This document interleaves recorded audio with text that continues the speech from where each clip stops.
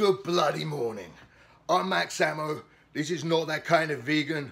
And welcome to day one of my extreme 21 day cut. I am the angriest man alive. I curse the earth, I curse the sky.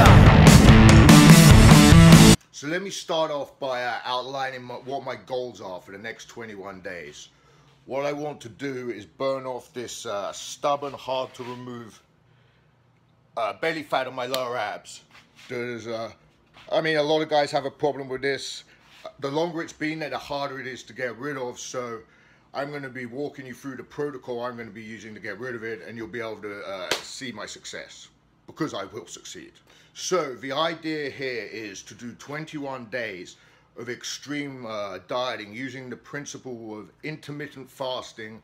So basically I'll be eating around uh, 1500 calories a day is the target all at the end of the day pretty much in one meal well, all after 6 p.m. Now I mean it's loosely based on uh, Lyle McDonald's um, warrior diet.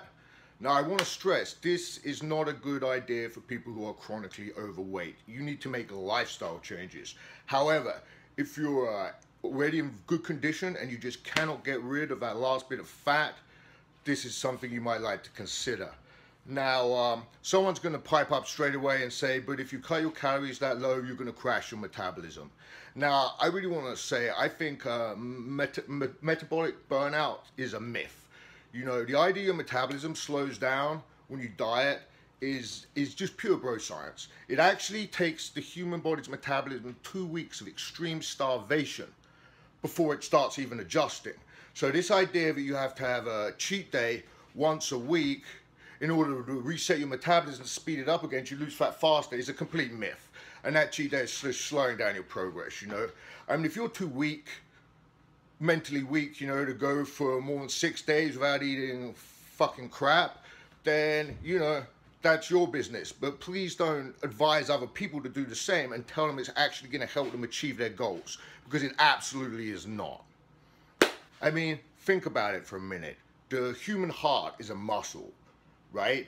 If our body started cannibalizing its own muscle just when you went for four or five hours without eating, every time people did a two, three day fast, you know, there'd be a serious risk of a heart attack. And we know that's not the case. So let's just push the bro science out the way and um, let's talk about the diet.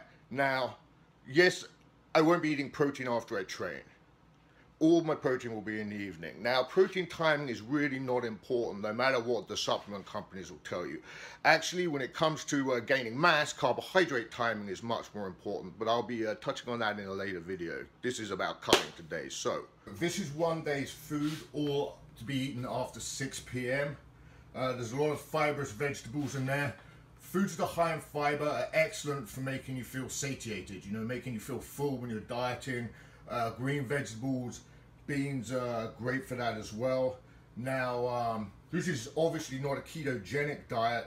In fact, my uh, lowest macro there is fat. So all of that food together, plus I, I get up at 2 a.m. and I drink a protein shake that I have ready by the bed.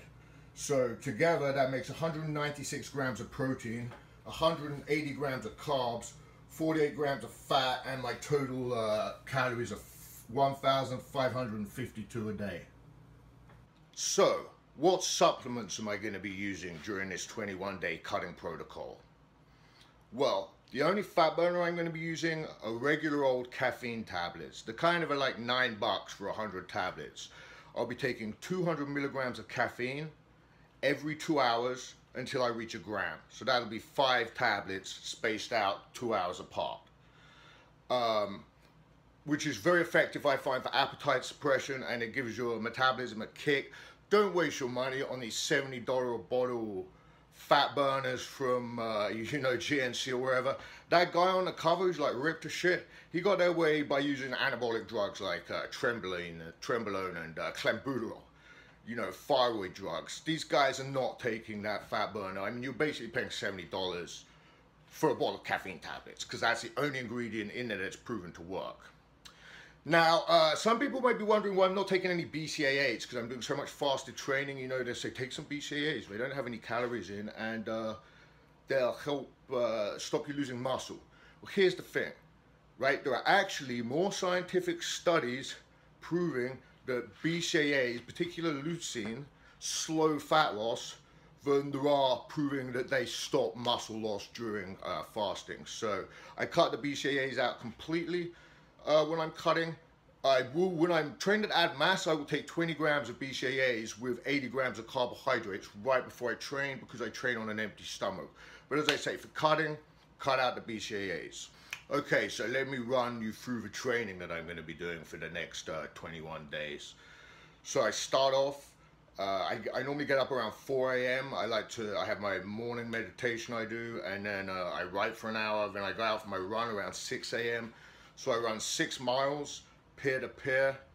Then I come back, take a shower, change into my weightlifting clothes, go into some heavy fucking weights, do the bodybuilding, traditional bodybuilding workout. It's about an hour and a half, two hours. And then um, in the afternoon, I'll do half hour of yoga and then 50 burpees in five sets of 10. And then uh, in the evening, I will go for a three mile run. So that's four training sessions a day. Now, someone's going to say overtraining. I'm going to say fuck off, right? You know, overtraining will make you lose muscle. That is a lie for lazy people. Running will make you lose muscle. That is a lie for lazy people. You see these uh, bodybuilders lying back in the elliptical, barely working up a sweat because they're saying they're going to lose muscle. They're being lazy, right? It's just fucking sheer laziness. You know, uh, the problem is a lot of people are training purely for vanity reasons, so they're always looking for the easiest route. Right? I'm not. I'm training to become mentally strong as well as uh, physically strong.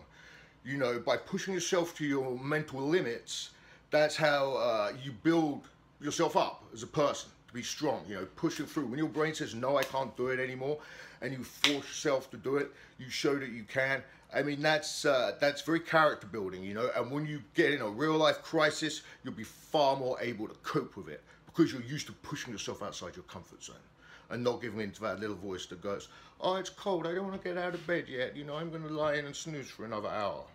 So, on a side note, if you ask me for a training program and I take the trouble to write you one, and you even use the word overtraining, like, isn't this overtraining? You know, basically, fuck off, go away get out of my gym, go home, eat some ice cream, watch your fucking friends marathon, whatever the fuck it is you betas do.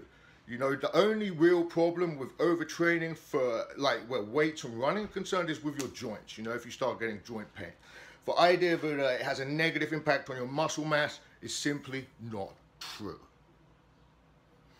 So, uh, that being said, I will be uh, giving a couple of updates every week because I want you to see my progress. So the goal is to have a defined six-pack in 21 days time. So I'll be checking in with you soon. Uh, be good, and if you can't be good, be a bad motherfucker. Come on.